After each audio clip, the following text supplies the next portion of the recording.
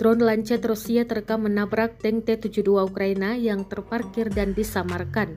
Rekaman detik-detik drone meluncur beredar di Telegram pada Sabtu 18 Mei 2024. Dalam keterangan unggahan disebutkan di arah Kharkov, Lancet menabrak tank T-72.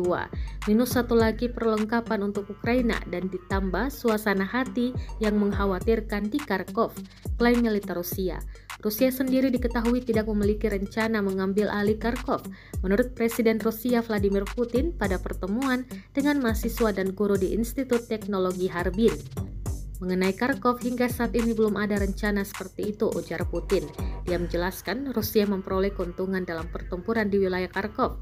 Angkatan bersenjata Rusia bergerak setiap hari sesuai rencana papar dia.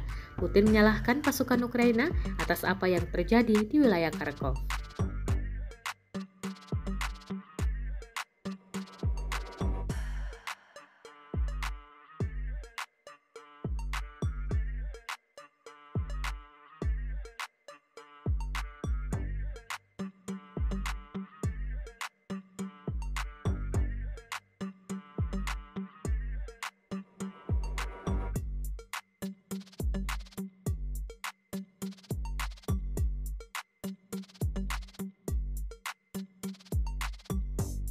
Download Tribun X sekarang.